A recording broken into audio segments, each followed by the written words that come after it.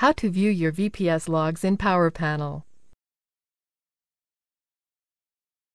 This tutorial assumes you've already logged into your Virtuozzo PowerPanel. Now let's learn how to view our VPS logs from PowerPanel. Click here to view the status changes logs. This page shows the history of VPS status changes.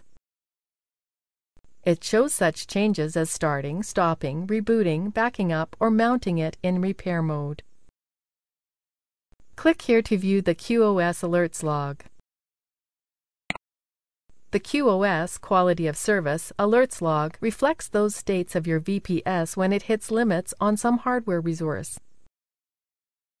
Every time a VPS consumes more of a resource than is specified by the limit on that resource, or is coming close to that limit, a QoS alert is generated and logged on this page. Now let's look at the Actions log. Click here.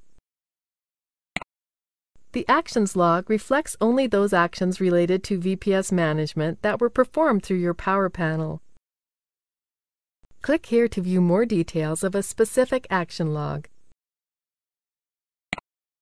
A Task Details window opens, showing the steps taken to complete the action.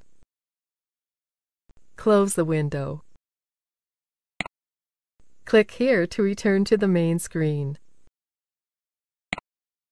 This is the end of the tutorial. You now know how to view status changes, QoS alerts, and Actions VPS logs from your Power Panel.